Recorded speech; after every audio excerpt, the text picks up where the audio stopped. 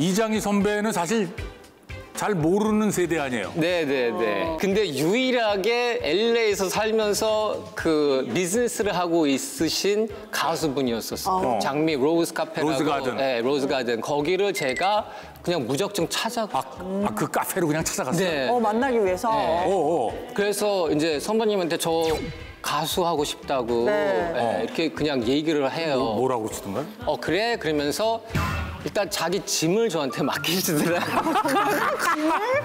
내 키보드랑 뭐랑 이런 거 있으니까 내가 지금 거기서 쓸수 없는 기구들이 많이 있으니까 너희 집에다가 일단 그거 일단 갖다 갖다 놓고 어 그리고 나머지 필요한 거 기구 같은 거 이렇게 마련해서 그러면 나중에 작업을 할 수 있게 아, 작업을 할 수 있게. 네. 어. 그래서 이제 뭐 건반 몇 개 이제 갖다 놓고 그랬는데 이제 집만 맡기시고 나타나시는 않는 거예요.